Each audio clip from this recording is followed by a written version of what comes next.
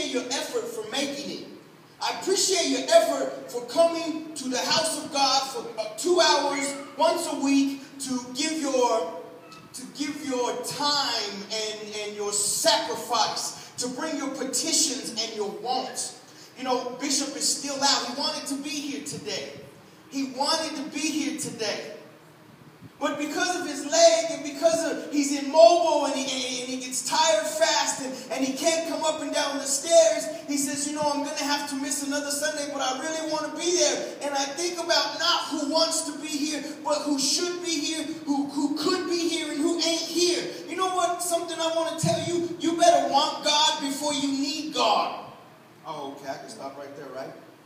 You better want God before you need God. Let me tell you something. You know what? And I'm just getting off the beaten path here for a quick second, but this is for somebody. You, you know, it's just what, let me tell you something. When, when your babies are sick and you don't know what's wrong, you need God. When, when you know what? When, when, when your marriage is in trouble, you need God.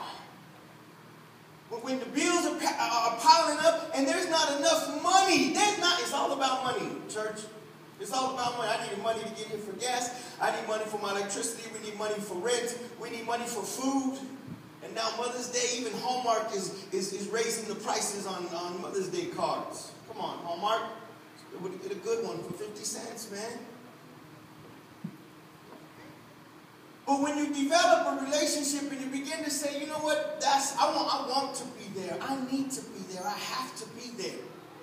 So my point is, is you know, uh, Bishop and, and Pastor uh, Pastor Amy wanted to be here, and they and they couldn't be here. This is the first Sunday that my mom has missed on Mother's Day. I don't know how often Mother's Day falls on a Sunday. It's every Sunday year. But she, she she didn't make it, and this was my time here to be here with her and and, and minister and, and share these moments. And, and she couldn't make it. So, if you're able to get to church, even if it ain't this church, I strongly suggest you get to church.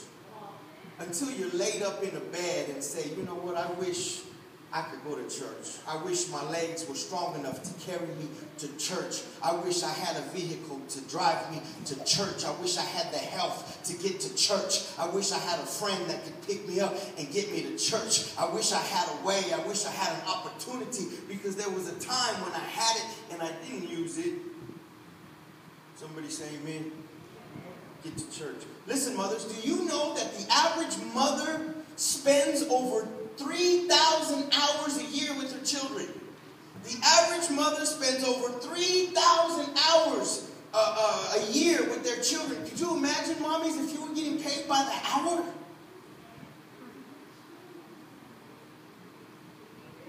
You, you'd be over the top. I'd have more kids, just like get paid more. Come out of retirement, man, have more babies. But the average child only spends 40 hours a year in church. But the average child only spends 40 hours a week, a month, I mean a year, in church. Imagine spending 40 hours a month in church, 40 hours a week in church. Amen. All I ask is two a week. So, mothers, I need your help. Mothers, I need your help to work with me to get your babies into church, to get your babies into a place that they can have a solid rock foundation, where no matter what happens, they can call on the name of God. Every time I was in trouble, every time something came up, I always referred myself to a moment that I had had in church when I was scared, and I, they, he said, I remember the first time that I went to jail, and they wouldn't they wouldn't release me. They said the it was a Friday night. They said the bondsman will not be available until Monday. You have to stay for the weekend. And I began to say, I have decided to follow Jesus. Right, right. What do you mean I have to stay here overnight? I've never been away like this before. I've never been in a in a jail where I don't want to be. I want to go home. I decided to follow Jesus. There I am.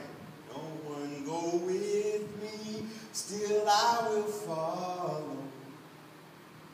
Because a parent, because my mother and my father made me come to church. and when I was in my most desperate moments is when I recalled being in church. Can you say amen? amen?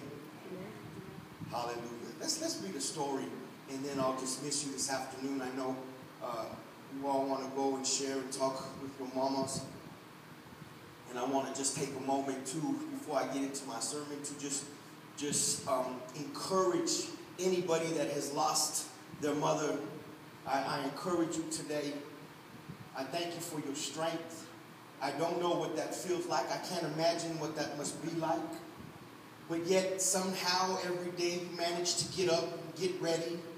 You manage to get up and put your best foot forward.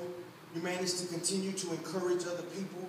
You don't ball up uh, into the fetal position and stand in the corner and wait in the corner and cry, woe is me, but you get up and you set an example to your babies and you make them strong because one day God is going to call you home and you need to make sure that they are going to be all right just like you have been all right.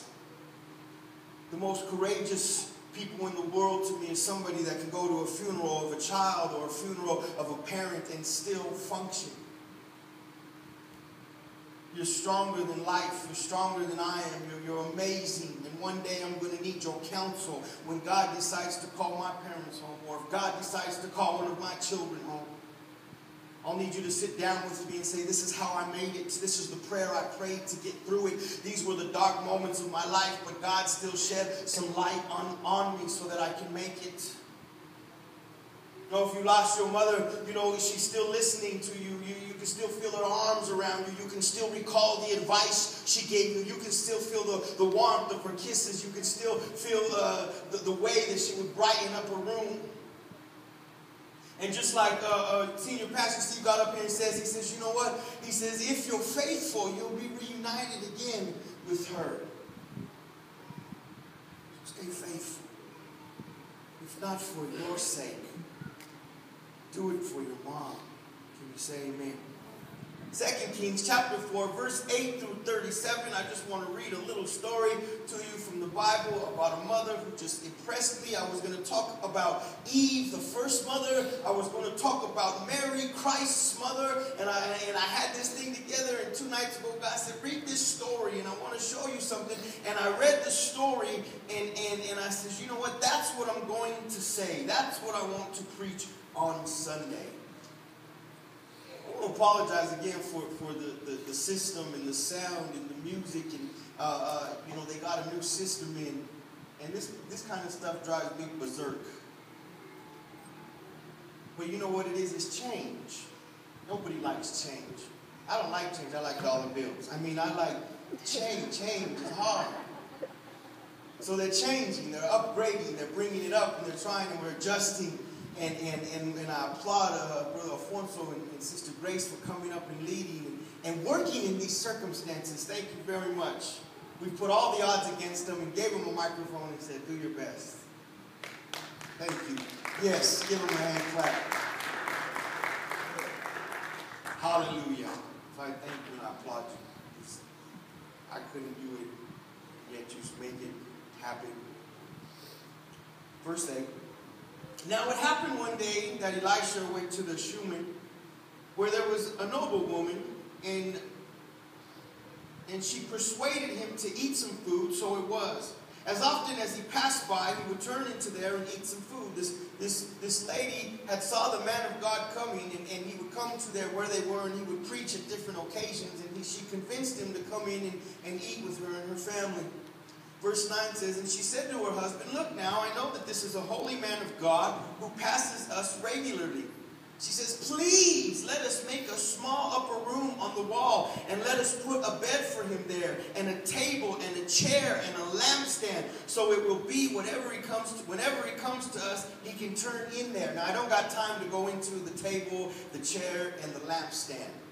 That's a whole nother sermon.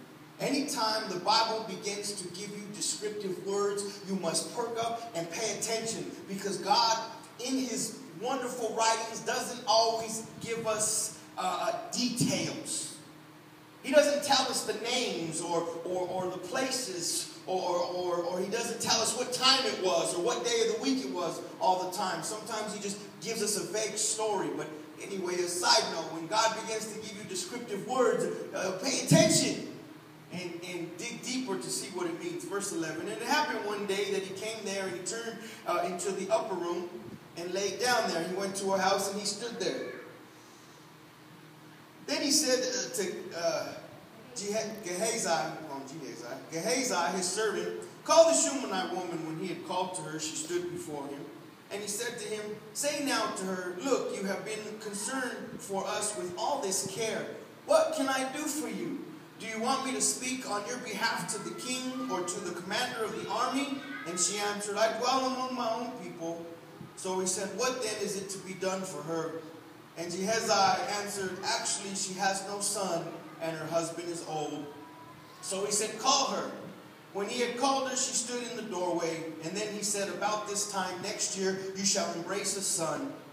And she said, No, my lord, man of God, do not lie to your maidservant. She was such a blessing to the man of God. She was such a blessing to his needs, putting somebody's needs in front of her, that he was compelled. He was compelled to bless her. Something inside of him said, You know what? I'm not going to leave without giving you something. I'm not going to leave without doing something extra special just for you. Because you went out of your way. Let me tell you something. If you ever get a chance to get a man of God on your side, get him on your side. And he says, What do you want? And, and, and, and it was, it, it was uh, Elijah's servant that says, You know what? I noticed that she didn't have a son. Now, you got to understand the importance of having a son in this era of time. It was everything. And he says, I'm going to bless you and I'm going to give you a son. And the first thing she says is, Whoa, whoa, whoa. Look, dude, don't, don't lie to me. That is so big. That is so great. That is so impossible. That is so over the top that I'm not even willing to, to I'm not even willing to entertain the thought that it might actually happen because if it don't happen, it's going to be so disappointing. It's going to be so hard. I'm going to be let down so bad that I all I got to say to you is don't lie to me. Has God ever told you something that was so big, so great, so mighty that you shrug your shoulders and say, ah, it's a lie. First of all, babies, we've been lied to so much that sometimes we don't even know what the truth is. We have to seek extra hard to figure out and to find out and to discover what the truth is because we've been lied to so much. It's what you don't understand is that God says, I am not a man that I should lie. So he says, whatever I say is the truth. So he tells her, I'm going to give you a son. And she says, That's so big, that's so amazing, that's so great that I'm, I'm, I'm afraid it might not come to pass. So please don't lie to me. About this time next year you shall embrace a son. No, my Lord, man of God, do not lie to your maidservant. But the woman conceived and bore a son when the appointed time had come, of which Elisha had told her. And the child grew. Now it happened one day that he went out to be with his father to the reapers. And he said to his father, My head, my head. So he said to his servant, Carry him to his mother. Doesn't that sound like a dad? Every time the kids get hurt, they, they send him to the mom. You fell down, you're crying, go get your mom. Where's your mom at? Why was your mom watching you? Is your mom even here? Every time the kids get hurt, just run to your mom. It's like mamas know what to do. You know, yesterday, a Pastor Missy made, made baked chicken uh, baked potatoes and, some barbecue sauce on the baked chicken. You know, who told her how long to put the chicken in the oven and at what temperature? Who told her that? I'm, I'm 38 years old. I have no clue. You give me a raw chicken, we're having raw chicken for dinner. I don't know how to put it in. I don't know what temperature. It might be too long or too soon. And I heard if you don't cook chicken right, you get really sick. Right? But, but moms know these things. They know.